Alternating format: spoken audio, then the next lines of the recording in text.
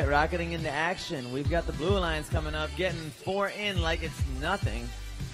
Totes Magoats going for something over here. We got a little bit of a kerfuffle in the center during the autonomous. 30 seconds left in this period. Looks like the Red Alliance is already crossing their arms. They are done with their pre-programmed autonomous. Blue Alliance taking all the time they can and going for it. It looks like Blue Alliance might be done. 10 seconds left. They got some in.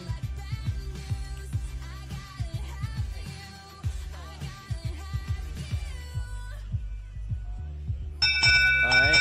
Well, that's the end of autonomous. We are going into the teleoperated period. Three, two, one, go. All right. Now begins teleoperation. One minute and 15 seconds. Blue Alliance with the win from the autonomous. At the moment, the Red Alliance fifth seed, VCAT two eighth seed. Eh, VCAT wants this win. This win could bring them up. Red Alliance, on the other hand, wants to maintain their lead. They want to be in eliminations, no questions asked. We got a little bit of action between the two robots. Red Alliance getting a few up. Red Alliance looking to play defense. Blue Alliance shooting from way far out. Pyro just going. They have two people feeding that robot as fast as they can. Is it even faster? Who knows? 36 seconds left. That net is stuffed. Nothing but stuffed. Nothing but net. They don't even miss a shot. They went all the way in and they're piled up. Looking like they are just destroying the red at the moment. Red trying to come back. 20 seconds left.